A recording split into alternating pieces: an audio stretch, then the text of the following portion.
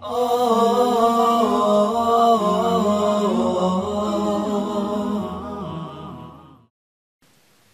alaikum and welcome back. Now we are going to look at, insha'Allah ta'ala, the steps of the salah in light of that prophetic hadith pray as you have seen me praying. Now, the prayer consists of units, and these units are known as rak'at, the singular being rak'ah. And every salah has a number of units. So, the first prayer of the day, Fajr, consists of two rak'at. The second prayer, the midday prayer, the dhuhr prayer, consists of four rak'at. The third prayer of the day, the asr prayer, consists of four rak'at. The maghrib prayer, that is the prayer after the sun sets, is three rak'at. And the final prayer of the day, the isha, consists of four rak'at. So now let's begin to look at the steps of the salah and how to perform the salah as the Prophet ﷺ taught us. Now let's begin. First of all, the person who is praying will begin by raising his hands up to his shoulders or in line with his ears. Whilst he is doing so, he says, Allahu Akbar. Next, he places his right hand over his left hand and he begins with the opening supplication of the prayer. Now, the opening supplication is optional, and this will be discussed in a further presentation. Now, after he has completed the opening supplication, he begins with the isti'adha. And the isti'adha is saying, A'udhu billahi minash shaitanir rajim. This is to be said at the beginning of the salah. Next, he says the basmala. And the basmala is saying, Bismillahir Rahmanir Rahim. Now he will begin reciting Surah Al Fatiha. This is the opening surah of the Quran, the first chapter of the Quran. Surah Al Fatiha. And Surah Al Fatiha should be perfected. And you must ensure that you have a scholar or a teacher, check your Surah Al Fatiha.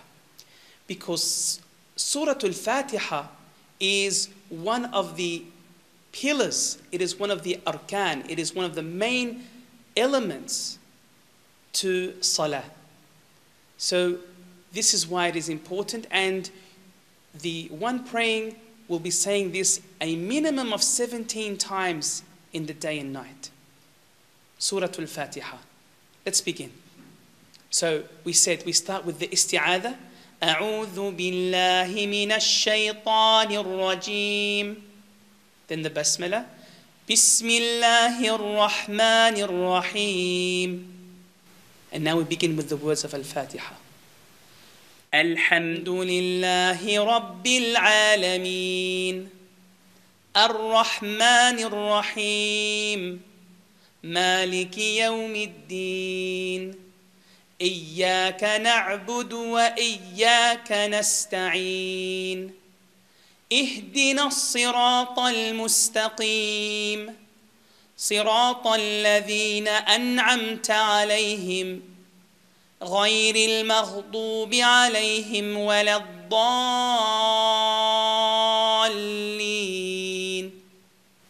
Now after you say ولا الضالين you say Ameen. Next, after reciting Surah Al Fatiha, you will recite a surah or a chapter or parts of a chapter from the Quran. So, for example, let us take the 112th surah from the Quran, which is Surah Al Ikhlas. So, now that you've finished Al Fatiha, you've said Ameen now you are going to begin again with the basmala, with the Bismillahir Rahmanir Rahim. Then the surah. So for example, we'll say, Bismillahir Rahmanir Rahim.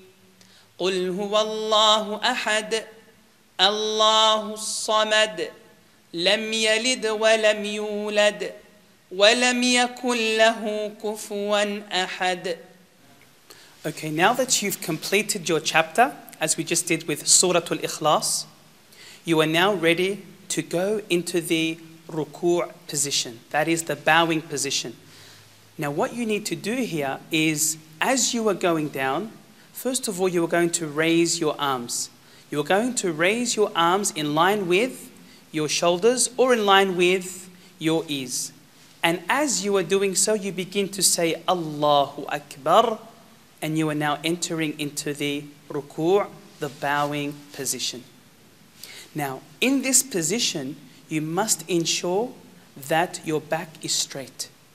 So that if I was, for example, to place a cup of water on your back, you must ensure that no drops will be coming out of that cup. You must also ensure that you are gripping your knees. So, not with the fingers all together, nor are they stretched out, but just a nice gripping of your knees. Now, in this position, you are saying the words of remembrance related to this position, the ruku' position. And they are Subhana Rabbi al Azim. Now you can say that a minimum of once, but it is preferable to say it more than once, and in many cases you will find yourself saying it three times. Subhana Rabbi al Azim, Subhana Rabbi al Azim, Subhana Rabbi al Azim. Now you are ready to go back up into the standing position. Coming up from the ruku' position, you will say, Sami Allahu liman hamidah, whilst raising your arms. Then you will follow this up by saying, Rabbana walakal hamd. So now you should be standing upright and with your arms by your side. Now you are ready to enter the sujood position, the prostration position. Now, this is a very special position, so pay attention here.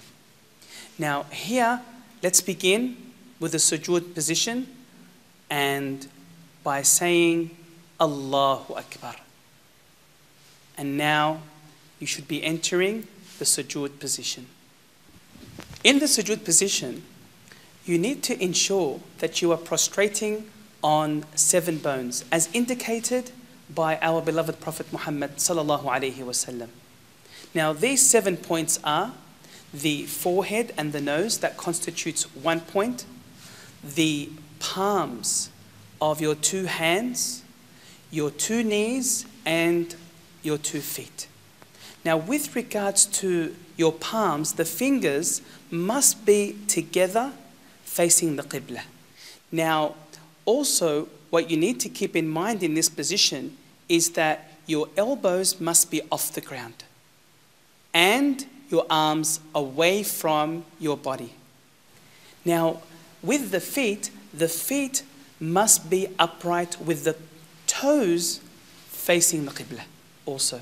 Just as your fingers are facing, so now your whole body is in this very beautiful position, the sujood position, and this is the closest.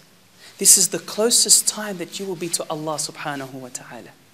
Now, in this position, you will also now be reciting the words of remembrance related to this position of sujood, and that is Subhana Rabbi al A'la. Now, the minimum is once, but you, most people, as we learn, say it three times. And if you say more, then this is permissible as well.